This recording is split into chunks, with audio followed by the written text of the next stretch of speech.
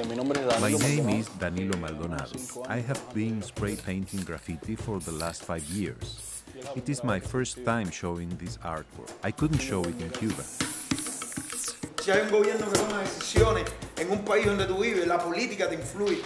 Mi nombre es Raudel. My name is Raudel. I am a hip hop artist committed to my message, my music, and to the Cuban people. It's a really interesting group of almost 20 kids that are made up of artists, they're made up of lawyers, they're made up of dissidents, some of them are bloggers. This program is attempting to create an educational international exchange program between Cuban students and American universities. This is the first time that J1 visas have been offered to students in Cuba since the revolution.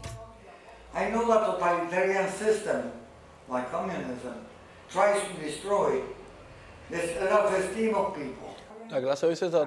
This class is about Cuban culture. It is the first time I've heard it because Cuban history is usually written to favor the people in power.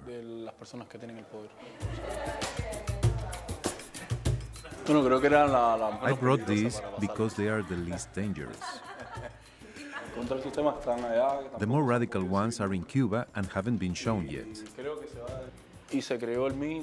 I was arrested once and held for four days. The government wanted to know who was supporting me, who was helping me.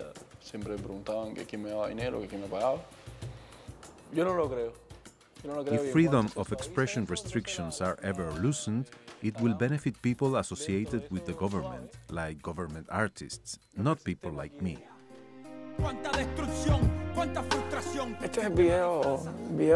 This is the music video for my song Decadencia. E inmortalizo mis palabras. De nuevo me transformo en la voz de una gran masa. Y al hip hop cubano o a rap por, I've always said that I was attracted to Cuban hip hop, to rap out of necessity, to express things, to tell the story of the Cubans with less means, with less privilege. Quieren gritar su dolor, pero no pueden porque el terror impuesto le arranca lo poco que tienen. La situación de Cuba es tan, tan, tan complicada, tan The situation profunda. in Cuba is so, so complicated, so profoundly unstable and difficult that any attempt at transformation or change has to be drastic, to be noticeable, and that is not happening. Tiene que ser muy profunda para que se note. Porque creo que esto más fue, más, fue más un esfuerzo. I think this was more of an effort of Miami-Dade College, of people from here, from the United States, who were interested on this taking place. I don't know to what extent the Cuban government is involved with this that happened, but I believe that the outlook is not completely bleak.